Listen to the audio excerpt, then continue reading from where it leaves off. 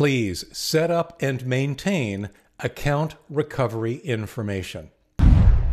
Hi, everyone. Leo Notenboom here for AskLeo.com. By now, you probably know that I hear from folks who are having trouble signing into various online accounts almost daily. And unfortunately, a high percentage of those people never get back in. And the reason they don't get back in usually boils down to their account recovery information. So let's talk about what that is, why that exists, and why it's so incredibly important for you to keep it up to date. Account recovery information exists for exactly one purpose, and that is to provide an alternate means of proving you are who you say you are. Normally, when you sign into an account, the fact that you know your login ID and your password basically confirms yep, you're the person who's supposed to have access to this account. Great. But when that doesn't work, well, there needs to be another way. That's what the account recovery information is all about. This is the stuff that kicks in when you say, I forgot my password. It's important because this information that you set up while you had account access is the stuff that is that fallback mechanism, the fact that you can access, use, or otherwise verify through this account recovery information proves that you are who you say you are. Remember, you know you are who you say you are, but the service you're signing into doesn't. If you don't know your password, they don't know you're not some hacker. They have to go through additional levels of verification to make sure that they grant access only to the person authorized to access the account. Now, what I just said was very important. Account recovery information is stuff that you set up while you have access to the account. What that means, of course, is that you have to set it up before you need it. Once you've lost access to your account, once you've forgotten your password, or once your account has been hacked, it's too late. That account recovery information has to be there before you need to use it so that it can be used to verify, yeah, you were the person who set it up originally. The other thing, and this I think is the thing that really is responsible for the majority of accounts that are lost permanently, is simply this. You must keep your account recovery information up to date. If you change your phone number and your phone number is in your account recovery information, you need to go change your account recovery information. Your old phone number, the one you no longer have access to, can no longer be used to prove that you are you. It needs to be current. The same is true for any alternate email address you might have associated with the account. If you can't access that alternate email address, then it's like not having it there at all. It's like not having the account recovery information present at all. And that doesn't matter if it's because you can't sign into that account or you no longer have that account. The account recovery information that is associated with your account must be present and must be kept up to date. Now, I do want to briefly go over some of the types of account recovery information we're talking about. The most common one is the alternate email address. That is simply an email address that the service you're attempting to recover can send a message to to prove that you are who you are. Your ability to access that message, to get that message, basically says, okay, yep, you're the person that set up this account recovery alternate email address in the beginning, so you must be you.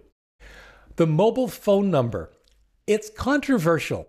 And I say that only because the conspiracy minded among us believe that requiring or even asking for a mobile number is somehow the service's attempt to gather more data about us.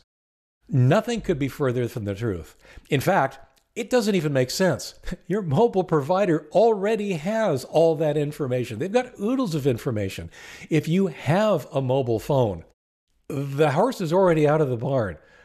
The fact is, when services ask for your mobile number, it's another way for them to confirm you are who you say you are.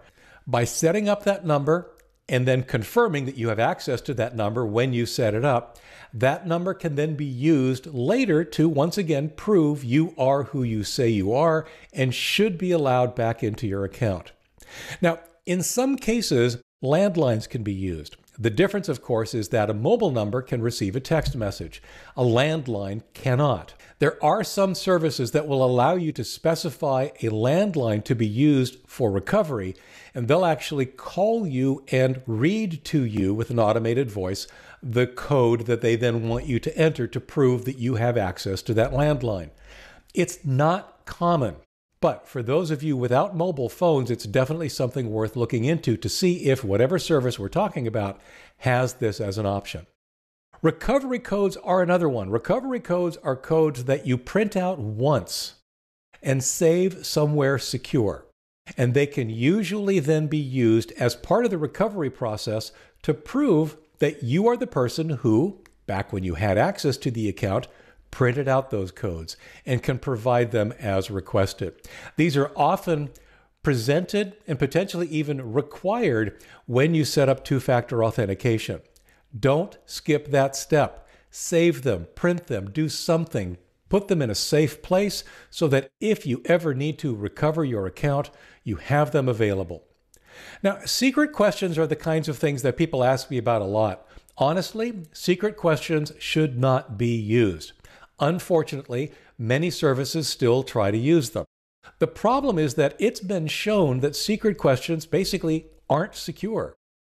It's very easy for you to find out my mother's maiden name. It's not that hard for you to find out any number of other things that are often used as answers to the secret questions.